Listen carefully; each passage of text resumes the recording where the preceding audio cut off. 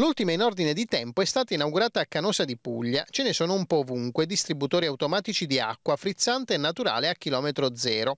Chiamatela pure acqua alla spina, dicono gli inventori, che parlano di un nuovo servizio ai cittadini.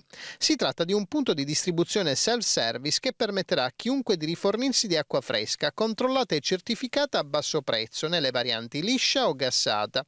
Il costo è di 5 centesimi al litro, serve una scheda magnetica ricaricabile. Eccole, costo 10 euro prepagate.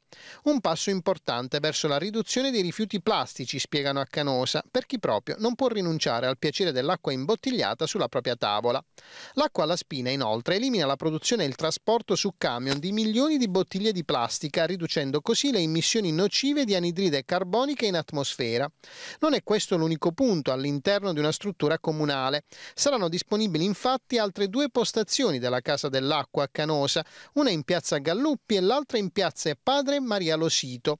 L'acqua alla spina, lo ricordiamo, è attiva già in diverse cittadine italiane nei punti vendita della grande distribuzione organizzata, che da tempo offrono lo stesso tipo di servizio anche per prodotti diversi, come ad esempio i detersivi ecologici.